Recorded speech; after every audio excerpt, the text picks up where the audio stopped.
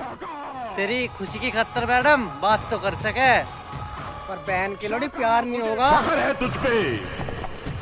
मुझे पूरा